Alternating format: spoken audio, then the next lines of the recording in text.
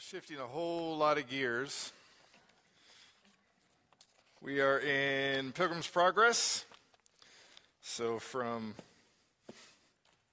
Steve rescuing the Manzanos to Christian. Uh, by way of review, I know it's kind of just grind it right into gear. By way of review, thinking back last week, uh, what was the major uh, issues that Christian and Hopeful ran into? They were apprehended by someone.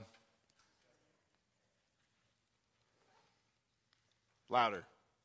Giant despair. What was the name of his wife?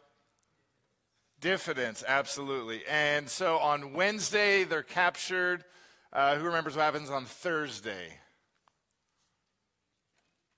Beat like a bunch of tied up goats. Friday, yeah, psychological warfare. They were told to commit suicide. Saturday, they were shown something. All the bones in the courtyard. And then, like Paul and Silas singing uh, at midnight, they uh, remember. Well, Christian remembers that he's got the key all along. And then on Sunday, they remember that. Uh, escape Doubting Castle, escape giant despair and his wife, and they find their way ultimately to what location?